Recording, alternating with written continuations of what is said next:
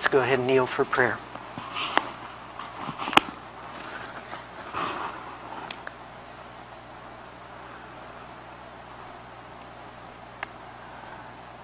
Dear Father in heaven, thank you so much this morning that we can flee to Christ and we can find deliverance.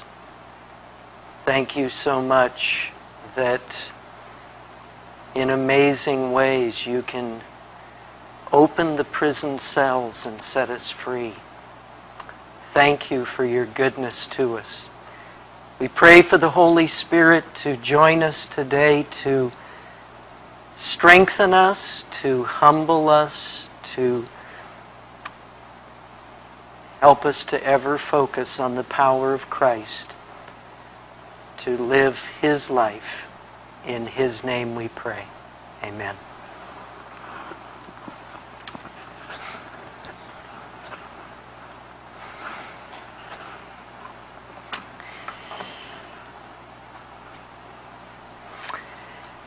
Well, I must say it was a, a great blessing for me to uh, sit in Sabbath school this morning. I really enjoyed that, and um, I have enjoyed uh, working with the young people, with Miss P and others that have come through over the years, but um, it was a real treat for me this morning, and it was a great blessing a great blessing. Really appreciated it. You know, I'd like to take a look at a few Bible promises as we get started today. They're both in Isaiah. Isaiah chapter 61, verses 1 through 3. Isaiah 61, 1 to 3. The Bible says, The Spirit of the Lord God is upon me these were the words that Jesus quoted when he went back home to Nazareth. Because the Lord hath anointed me to preach good tidings unto the meek, he has sent me to bind up the brokenhearted, to proclaim liberty to the captives, and the opening of the prison to them that are bound. To proclaim the acceptable year of the Lord and the day of vengeance of our God, to comfort all that mourn, to appoint unto them that mourn in Zion, to give unto them beauty for ashes, the oil of joy for mourning, the garment of praise for the spirit of heaviness, that they might be called trees of righteousness, the planting of the Lord that he might be glorified. You know, I don't know why somebody would want to kill Christ for then saying, This day are these words fulfilled in your ears. I find those verses to be full of such hope and strength. Notice it says that Christ came to bind up those who are broken hearted, to set at liberty the captives, the opening of the prison to them that are bound. I don't know about you, but I know with me that sometimes locked into this body that I have, I feel like I'm in prison. Because this body wants to do things that I don't want it to do. And so I feel like I'm a captive. And I am so thankful today I am so thankful today that Christ came to proclaim liberty to the captives and the opening of the prison to those that are bound. You know, it's interesting that various Bible writers, Isaiah does it a few times. In Isaiah chapter 42, he refers again to those who are in prison. In Isaiah 42, verses 6 and 7.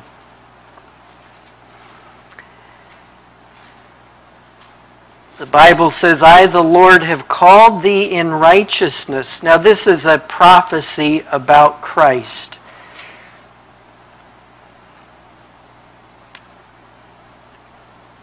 Says, I have called thee in righteousness, will hold thine hand, will keep thee, and give thee for a covenant of the people, for a light of the Gentiles.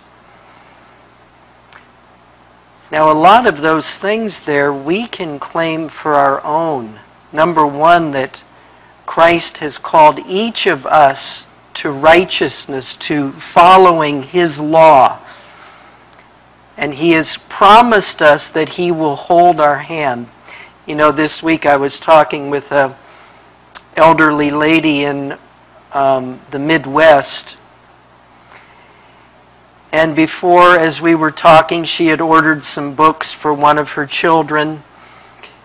And before we got off the phone, she said, um, she said, Brother Bill, will you do something for me before we get off the phone? I said, um, What's that? She said, Will you pray for me? And I know that probably within the last year she had lost her husband. And uh, her one child lives there on the property where she is, but then she has other children in other parts of the country. But how wonderful it was to be able to pray and, and claim this promise in Isaiah 42, where God says, I will hold your hand. So no matter where we are, no matter how forsaken or lonely or whatever it is that we may feel, and we may feel separated from family, friends, Christ has said, I will hold your hand. That's a wonderful promise. It's a wonderful promise, folks. Verse 7, it says, To open the blind eyes to bring out the prisoners from the prison, and them that sit in darkness out of the prison house. Now, too often, I'll never forget when I was in Red Bluff, I was giving a Sabbath school class one time, and a gentleman who was extremely well to do. I can still remember his name. It was, well, he's passed on, so I think I'm safe to say it. His name was Howard Durbin. And Howard had paved the, the uh, parking lot at, our church, at the church there and had done a, a lot of repairs and had foot the bill and just all kinds of things. He was very generous. Well, one Sabbath, we were talking in Revelation 14 about Babylon is fallen, is fallen, that great city, because she made all nations drink of the wine of the wrath of her fornication. And uh, we went into Revelation 14 prior to that, where it talked about the 144,000, and it said, uh, let's see, they are not defiled by women, for they are virgins. And I, and I looked at the class and I said, Now, what does that mean? Well, Howard was very generous, but Howard was not somebody you'd call a theologian. You understand? And so he just blurts out real loud, which was kind of unfortunate uh, because he was wrong. But anyway, that's okay. That's what Sabbath school is all about. It's for learning, right? That, that's what we're here for, is to learn, because none of us have reached the pinnacle yet. And Howard yells out and he says, That's talking about people who have never been in, in a relationship with someone. I'm going, Whoopsie daisy. I think we need to do a little educating here. Well, Folk, Isaiah 42 and verse 7, it's not talking about people that have had a brush with the law and are in a prison cell somewhere. That's not what it's talking about.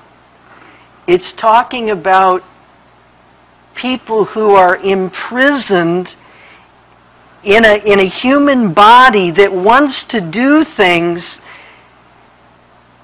and they're, they're captive by it. They're, they're held by it.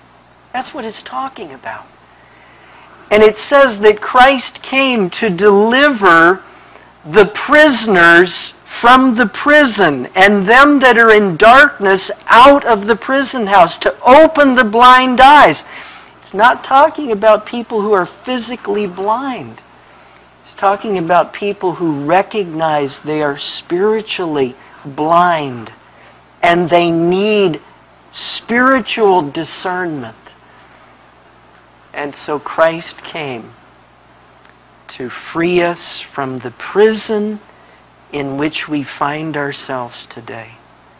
I'm thankful. Thankful that Christ can still do that and is willing to do that for each one of us.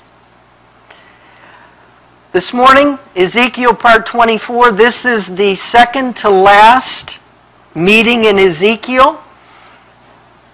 It's the flowing river. In uh, three weeks, we will look at the final part to Ezekiel, the dividing up of the promised land. But uh, for today, Ezekiel part 24, the flowing river. Next slide, sweetie. Ezekiel 47, uh, the first part of it, it's amazing.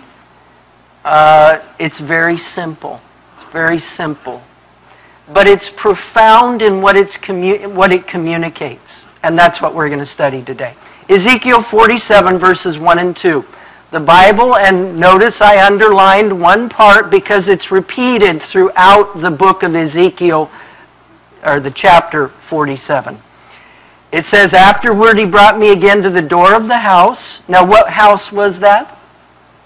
The temple. That's right, Reggie. It was the temple. And behold, waters issued out from under the threshold of the house eastward, for the forefront of the house stood toward the east. The waters came down from under the right side of the house at the south side of the altar. Then brought he me out of the way of the gate northward and led me about the way without unto the utter gate by the way that looketh eastward. And behold, there ran out waters on the right side. So basically, in Ezekiel 47, as we get started, we've got the temple, and then from out of the temple, heading east toward the Jordan River, was this water that was flowing out of the temple heading east. Now, is that literal or is that symbolic? Is there some message in that that we're going to be learning here today? I, I think we've got to obviously look at this passage and say, well, you know, I never remember in any stories of Moses' temple, Solomon's temple, or Herod's temple, I never remember a time when there was water flowing out underneath the temple. So obviously, we're looking at something symbolic. Okay, next slide, sweetie. Well, what is that water that flows out of the sanctuary? Well, notice this statement. It's from, I believe it's Desire of Ages. We'll see it in the next slide as well. Christ's words were the water of life. Okay, now that's pretty simple. So when you look at the water in Scripture, in many cases, now of course in Revelation 17, when it says that the waters which thou sawest represent multitudes, nations, tongues, and peoples. Okay? So water has different meanings in Scripture. This says Christ's words were the water of life.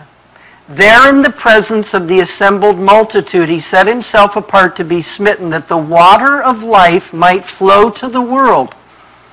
Satan thought to destroy the Prince of Life, but from the smitten rock there flowed living water. As Jesus thus spoke to the people, their hearts thrilled with a strange awe, many were ready to exclaim with the woman of Samaria, Give me this water that I thirst not. Now, obviously, folk, in this chapter, and this is in John chapter 7, and also with the woman at the well, when Jesus offered her the water of life. Now, obviously, Jesus was not offering her multitudes, nations, tongues, and peoples, right? That's an obvious, that's a given. But he was offering her new life that would come through his words. And that was called the water of life. Next slide. Many of those, this is Desire of Ages 454. Many of those who heard Jesus were mourners over disappointed hopes.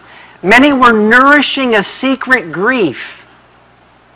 Many were seeking to satisfy their restless longing with the things of the world and the praise of men.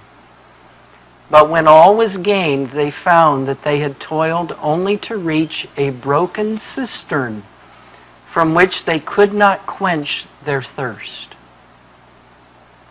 Amid the glitter of the joyous scene, they stood dissatisfied and sad. Now, those were Seventh day Adventists in the first century, thinking that they could be satisfied with the things of this world. But then Christ gave that earnest cry and said, If any man thirst, let him come to me and drink. This startled them from their sorrowful meditation. As they listened to the words that followed, their minds kindled with a new hope. The Holy Spirit represented the symbol before them until they saw in it the offer of the priceless gift of salvation. So, folk, the water that went out from the temple in Ezekiel chapter 47 represented the words of God and his desire to reach the inhabitants of the world with the plan of salvation. Now, that's what those waters are in Ezekiel 47 that were coming out of the temple. Now, we all have a choice. We all have a choice to make. Because, see, the words of God, that's, that's one option that comes out of the temple. But see, we can also choose to spread our own messages, can't we? It's totally up to us what we choose to promote. Next slide. Now, what was that flowing truth that came out of the sanctuary that was then to spread throughout the world? Now, we've been called to share the truth of the three angels' messages with every nation, kindred, tongue, and people. Those messages of life include the fact that righteousness can only come from Christ. The Ten Commandments are still binding on humanity. The health message to restore us to physical health, to soundness of mind, so we can hear God's voice. Another part of those messages is that the apostate Protestant churches today are in a fallen condition and that the papacy is the Antichrist. Now, those are the messages primarily, not exclusively, but those are the messages that we find in Revelation chapter 14. And they're all found in the light of the judgment hour message that began in 1844. So those are the messages of life that God has flowing out of the sanctuary to every nation, kindred, tongue, and people. Now, the question we have to ask ourselves is are these messages flowing today? Are they flowing throughout the world? From how many different places are they flowing today? There's not a whole lot of places, folk. Not a whole lot of places. So obviously, the waters that God designed that would bring life and hope and healing and understanding to the inhabitants of the world have somehow become murky and dirty and mixed up with all kinds of sediment and all kinds of other things so that those messages of God are not flowing the way they should. Next slide. Well, notice Ezekiel 47, 3 to 6. Notice what happens with the messages that God designs to give throughout the world. Watch this. It says, When the man that had the line in his hand, now that's, of course, the man that we found in Ezekiel 40, which was Christ. It says, the man who had the line in his hand went forth eastward. He measured a thousand cubits. Now that would be from the sanctuary, so he's measuring, heading towards the, uh, the Jordan River. And he brought me through the waters. Okay, the waters were to the ankles. Okay, so the waters, you know, it's, it's real shallow. It, it's just coming up to the about ankle level. So there's, there's the water. Okay, but let's go on. It says again, he measured a thousand cubits and brought me through the waters. The waters were to the knees. So what's happening? The water's rising. It's getting deeper, isn't it? It's getting deeper. Again he measured a thousand and brought me through, and the waters were to the loins. So right here in the midsection. So, folk, as Ezekiel is watching this vision unfold, the water is rising. Started at the ankles, went to the knees, now it's up to the loins. Afterward, he measured a thousand, measured another thousand cubits, and it was a river that I could not pass over. For the waters were risen, waters to swim in, a river that could not be passed over. And he said to me, Son of man, hast thou seen this? And he brought me and caused me to return to the brink of the river. Now, what is the point of that? In light of the fact that the water represents the messages of heaven. What's that, what's that saying there, folk?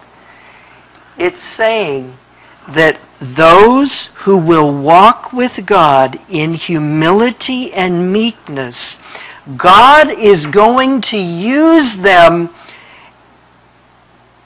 and the messages will get broader they will go further and further and further till the water is over all the world. Now, you think about in Habakkuk chapter 2, Habakkuk chapter 2, notice what the Bible says. Habakkuk chapter 2. Habakkuk is the Fifth book from the end of the Old Testament. Habakkuk chapter 2, verse 14. Notice what the Bible says. For the earth shall be filled with the knowledge of the glory of the Lord. How? As the waters cover the sea.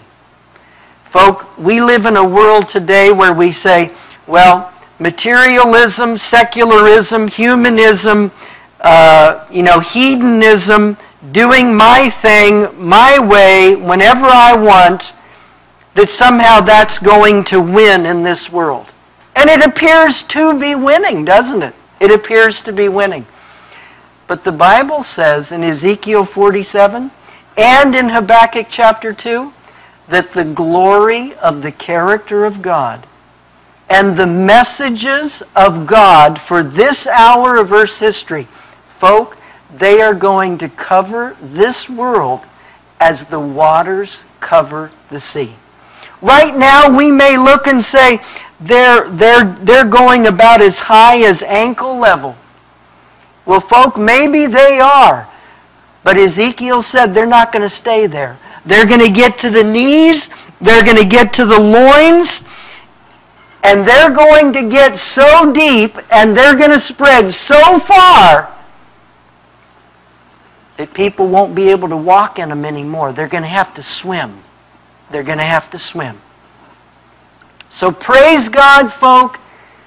Praise God that if, if we will walk meekly and humbly before heaven, knowing that it is His work and we are simply the paper boy, we're simply the farmer called to sow seeds, folk, God will use His faithful children to do a work that is absolutely mighty in this earth. Next slide. The messages of heaven continue to go forward, offering life and power to those who hear the messages. They continue to increase and expand all the time. You remember that small river we saw in the last couple of slides? Well, you know what? It's going to get bigger, folks. It's going to get wider. It's going to get stronger. It's going to get deeper. Because that is the way of heaven's messages. They will not be stopped, folks. They will not be stopped. Next slide. Now, from the spirit of prophecy, and this is taken from Acts of the Apostles. I want you to notice this statement.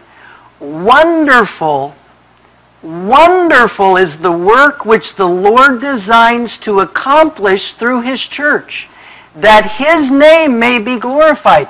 A picture of this work is given in Ezekiel's vision of the river of healing. Well, you know what, folk? Based on Ellen White's statement here, we had the correct interpretation of the verses in Ezekiel, didn't we? Because Ellen White says the work that God designs His church to accomplish that He might be glorified is found in Ezekiel's vision of the river of healing. So we got it right. We got it right. Praise God. These waters issue out toward the east country go down into the desert, go into the sea. They go everywhere, folks. Which being brought forth into the sea, the waters shall be healed. It shall come to pass that everything that liveth, which moveth, whithersoever the river shall come, shall live. And by the river upon the bank thereof, on this side and on that side, shall grow all trees for meat, whose leaf shall not fade neither shall the fruit thereof be consumed. It shall bring forth new fruit according to his months, because their waters they issued out of the sanctuary. And the fruit thereof shall be for meat or for food, and the leaf thereof for medicine. So we find here the waters, the messages of God spreading out and it says there will be healing, there will be enlightenment, there will be food for people to eat, to be nourished, to be chubby Christians. Next slide.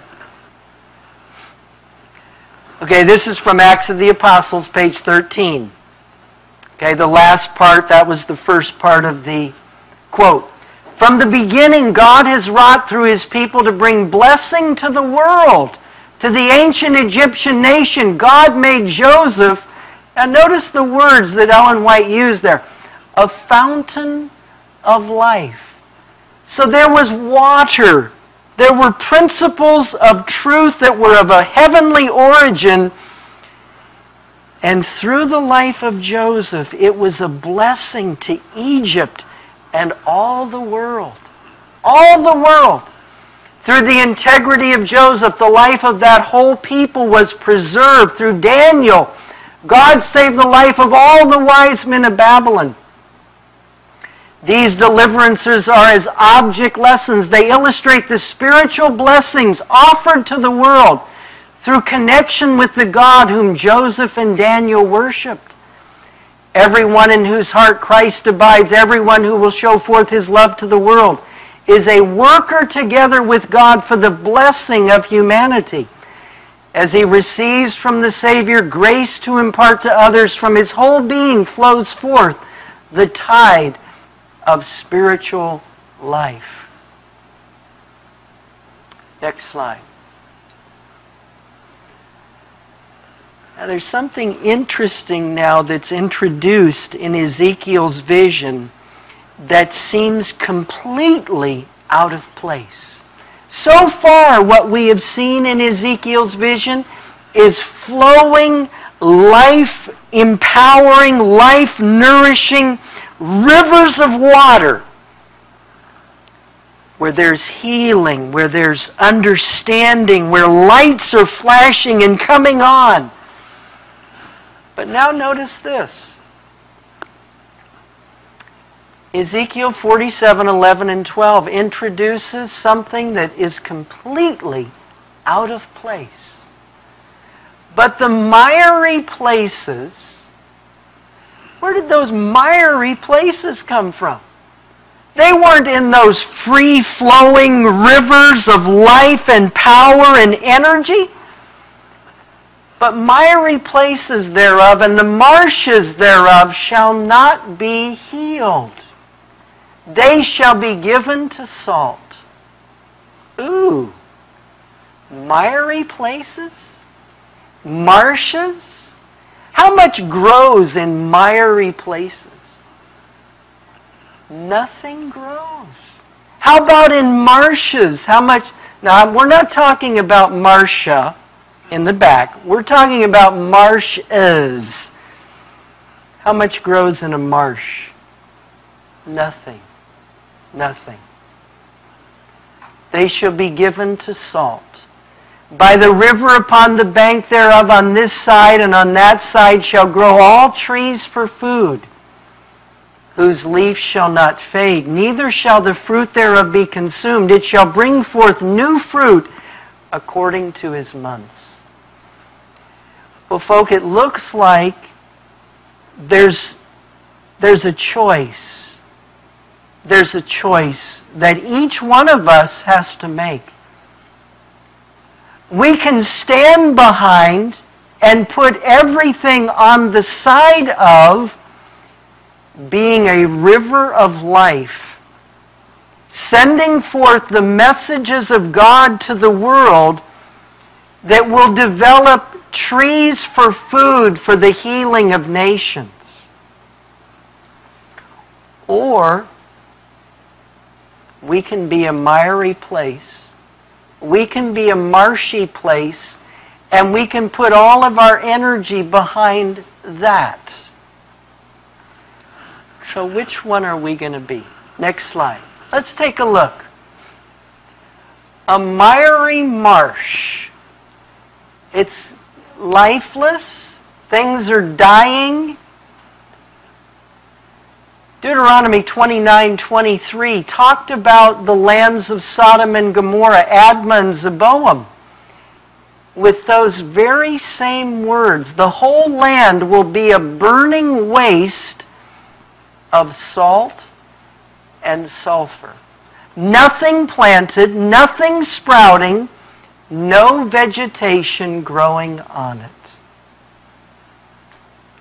It will be like the destruction of Sodom and Gomorrah, Admah and Zeboim, which the Lord overthrew in fierce anger.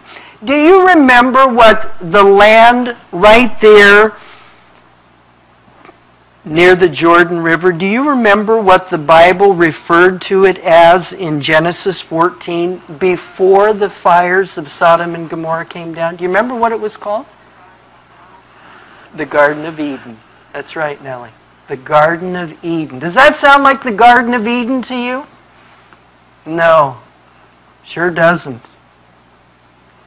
But that's what these places became because they decided they were going to serve themselves.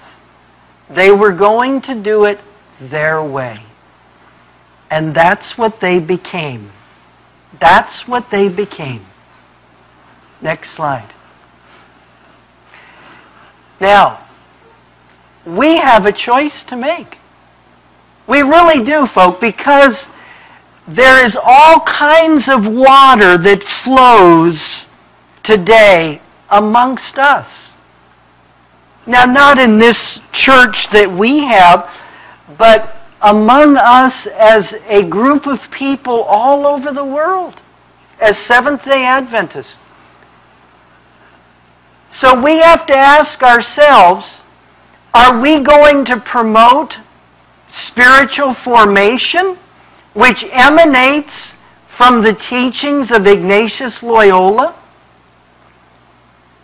Or will we promote the three angels' messages? This, folk, is a miry marsh. This is life flowing streams. Will we promote rock music or the rock of ages? Will we promote celebration or solemnity in Christ? Will we promote the new international perversion and other like translations or the King James Bible? Will we promote anything goes, do whatever you want? Or are the Ten Commandments still binding? Do we believe salvation comes in sin or that victory comes through Christ? Is the Pope today our newfound friend? Or is the Pope and the Roman Catholic system still the Antichrist of Scripture? Folk, the world the worldly churches and predominantly amongst us as Seventh day Adventists today, we are promoting this, which is a miry marsh, which has no life in it at all, which will take people to the lake of fire.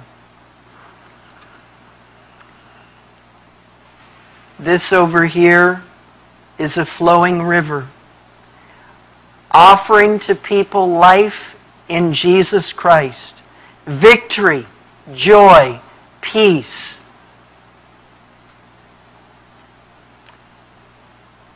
This is a flowing river.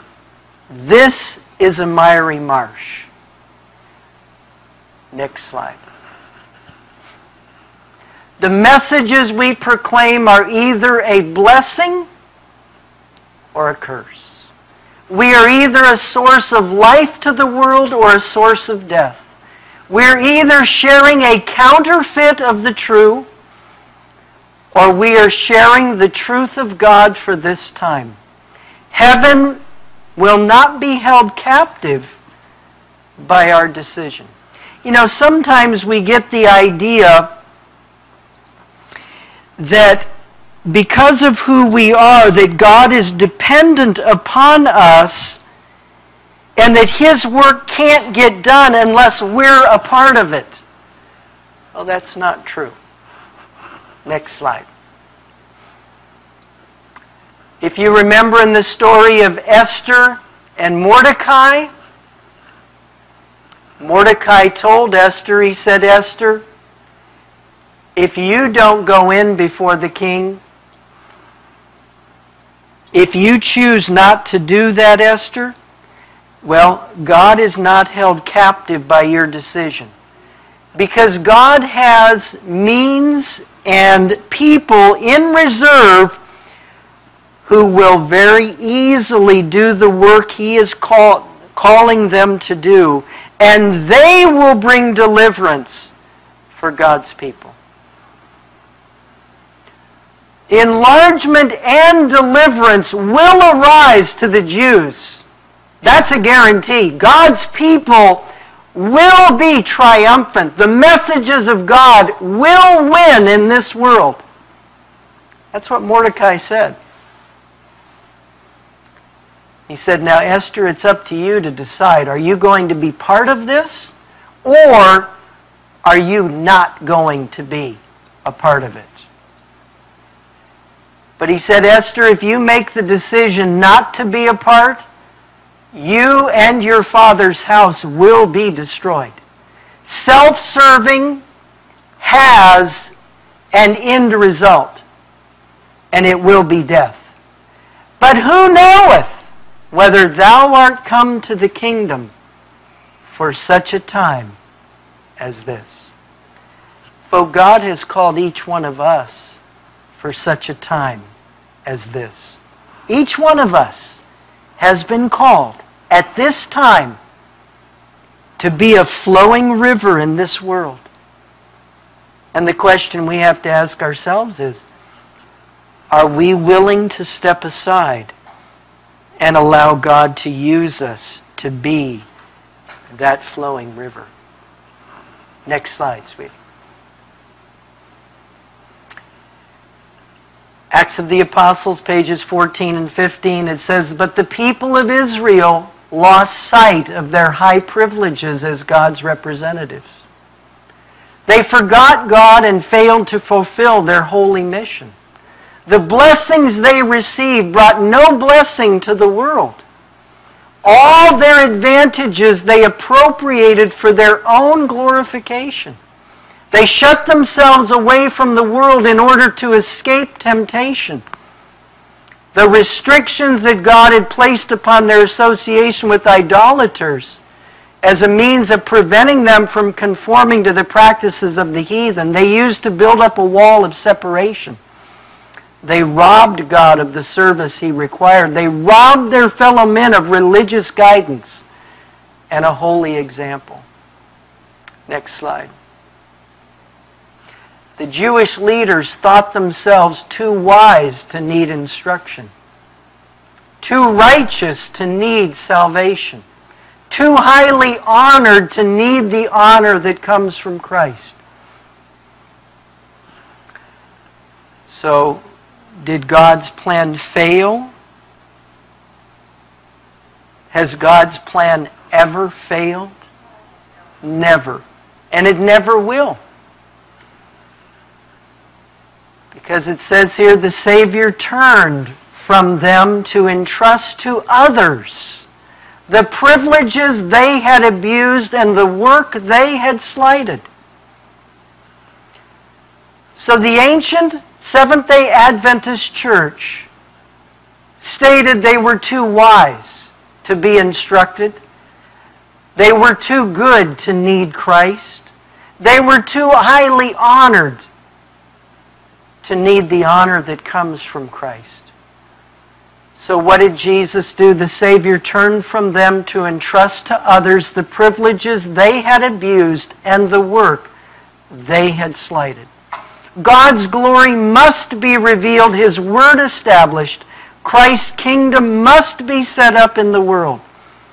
The salvation of God must be made known in the cities of the wilderness. And the disciples were called to do the work that the Jewish leaders had failed to do. I often ask myself the question why is it, why is it that a little out of the way church in the middle of nowhere in Eustis, Florida. Why, why did God open up a door to do the work that we have been privileged to do? Why?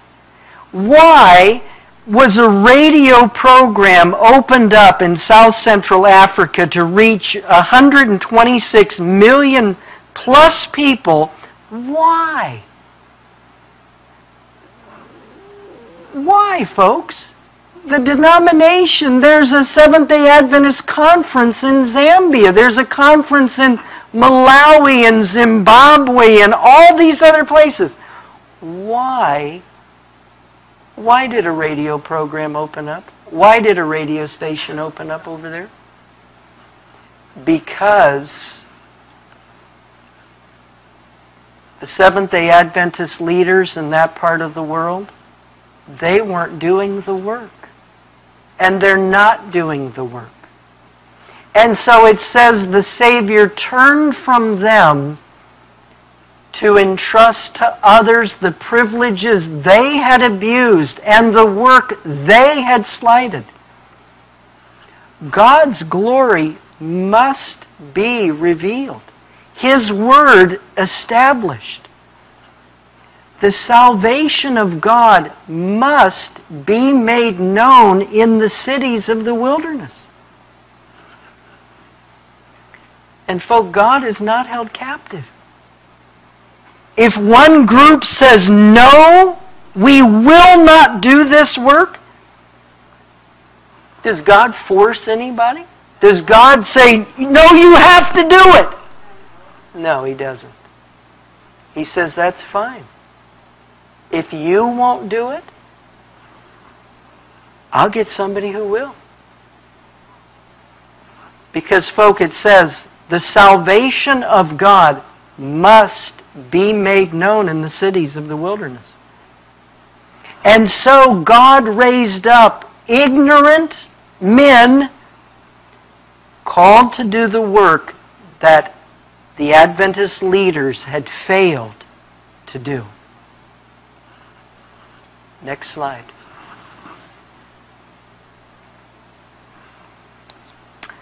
Desire of Ages, page 36.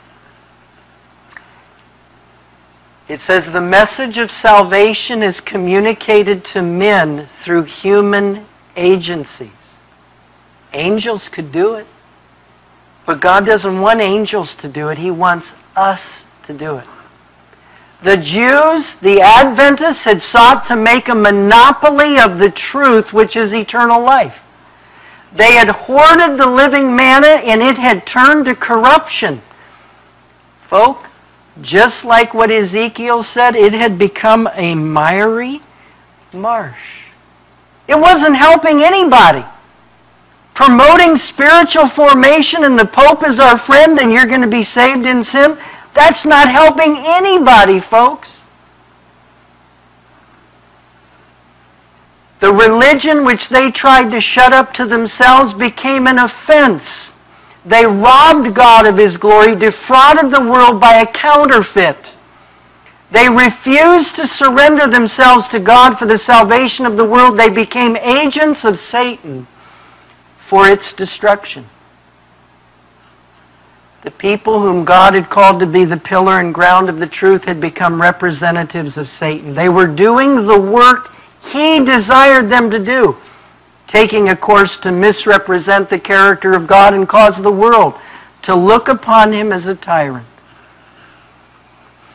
The ordinances which God himself had appointed were made the means of blinding the mind and hardening the heart God could do no more for man through these channels. The whole system must be swept away.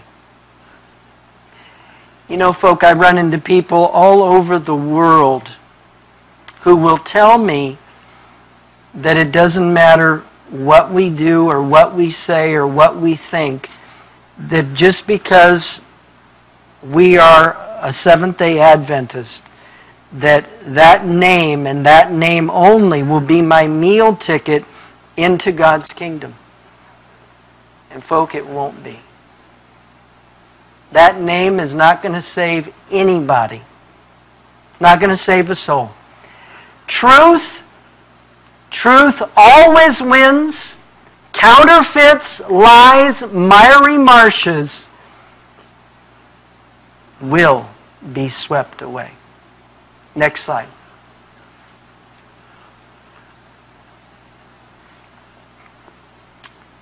Are we reaching out to fellow Adventists or reaching the world? You know, there's a lot of groups out there, independent, self supporting groups throughout the world, that their main goal is reaching Adventists in the denomination. Is that what we're supposed to be doing, folks? If we are, we're playing. That's playing. We are to reach world. Revelation 14, 6, it says, I saw another angel fly in the midst of heaven, having the everlasting gospel to preach unto them in the Adventist church. Is that what your Bible says? No, it doesn't say that. It says to preach to every nation, kindred, tongue, and people. That's our field of labor. Is our focus on sharing the truth with those who have had the spirit of prophecy for 40 years, or are we reaching out to those in darkness? Is our work to reach Adventists or the world? Folk, Jesus told the disciples, Follow me, and I will make you fishers of men. That is still our mission. That is still our focus. And may God help us to be faithful in sharing life flowing water to the whole world. Let us pray.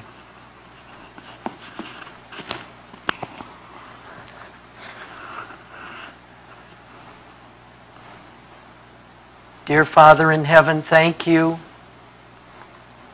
Thank you for this beautiful picture that you painted for Ezekiel. And thank you that you left it for us today.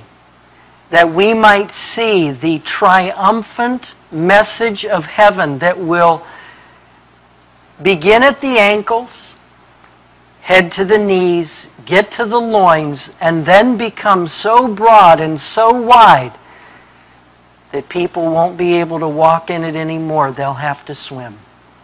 Father in heaven, I pray that you'd strengthen each one of us. Thank you for the work that we can do. Father, I pray that you would strengthen us to ever spread further and further your messages of truth throughout this world so that Jesus can come. In Christ's name I pray. Amen.